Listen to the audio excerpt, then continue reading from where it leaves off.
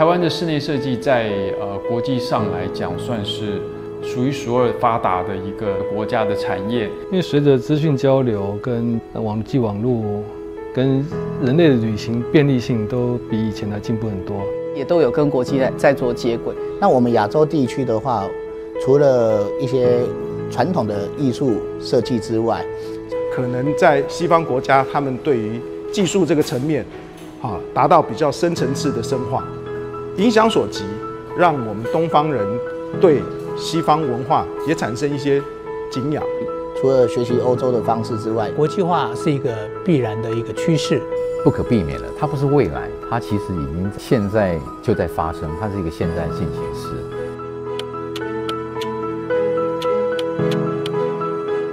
台湾的设计一直不断的在创新，国际的设计也一直不断的在创新，不管是具象的或是抽象的。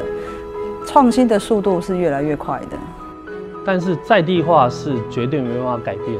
台湾跟国际的室内设计其实已经越来越融合了，不管是空间设计或是相关领域，其实在讲的更是文化这件事了。我们看到我们现在东南亚的社会里头，泰国的设计也非常的强，这个都有他们在地的特色。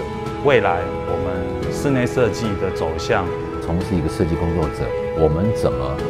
去用敏锐的心思，更加了解自己的文化，以各个城市的文化为基础，所以设计应该随时有那个地球村的观念，大家融合在一起。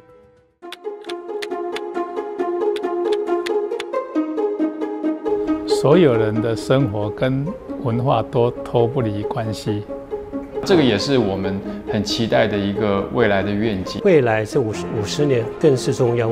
我想东方社会哈，它其实在文化的底蕴上面讲，并不输这个西方社会。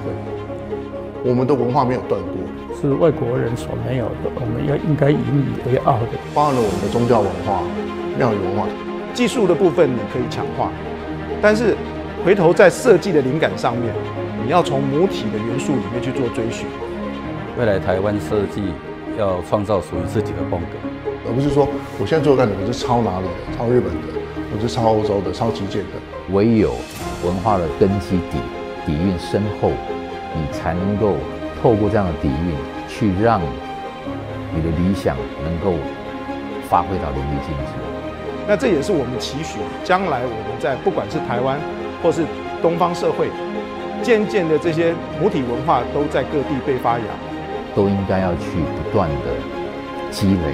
这也是我们一直扎根与追寻的东西。很期待啊台湾的下一个五十年会是一个更充实更丰富的。